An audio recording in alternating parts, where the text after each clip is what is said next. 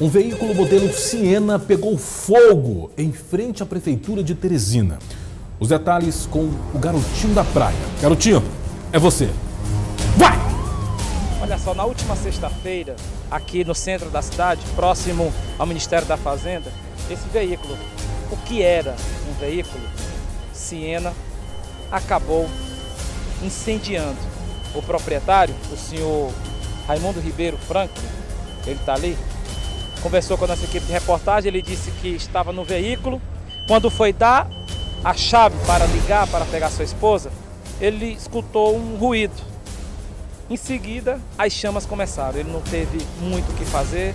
A população ainda quis colaborar, tentar apagar, mas infelizmente a perda total desse veículo aqui no centro da cidade que chamou bastante atenção. Nós temos imagens dele ainda com, com fogo. E mais, nós tivemos também informações que ao lado desse veículo havia outro Siena que teve que ser rebocado pela população, tirado às pressas, caso contrário, teria terminado nesse mesmo estado. O velho parado, quando deu a partida, deu um papo, aí começou o fogo leve.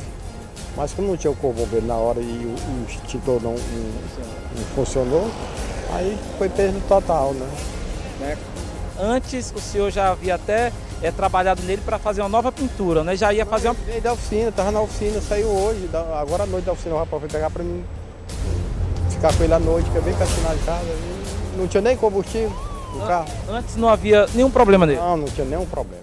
Nenhum problema de instalação, não tinha nada. Quando começou o fogo, você, claro, teve que se retirar do local. Eu ele no carro. Aí ele foi, aí o pessoal foi pelejando, pelejando e o fogo foi aumentando até que foi perda total.